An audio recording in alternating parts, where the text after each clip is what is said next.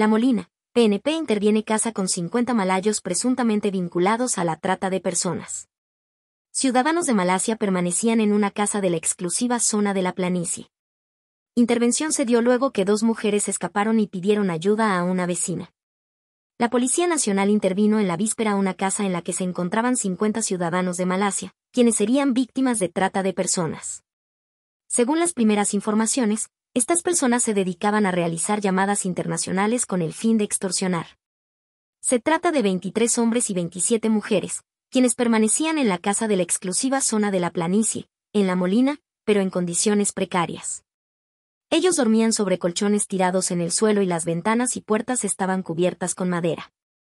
Durante la intervención policial fueron detenidos dos peruanos que cumplían la función de seguridad afuera de la casa, ubicada en el Girón La Laguna, cerca al Colegio Villa María.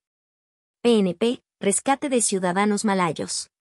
El rescate de los ciudadanos malayos se dio cuando dos mujeres escaparon de la casa y pidieron ayuda a una vecina, quien se puso en contacto con la Policía Nacional.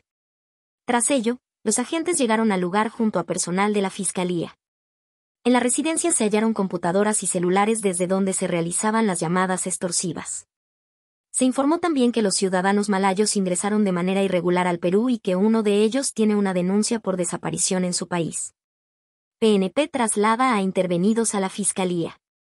Este domingo, a primera hora, la Policía Nacional trasladó a los 50 ciudadanos a la sede de Medicina Legal, en Santa Anita luego de 12 horas de diligencias.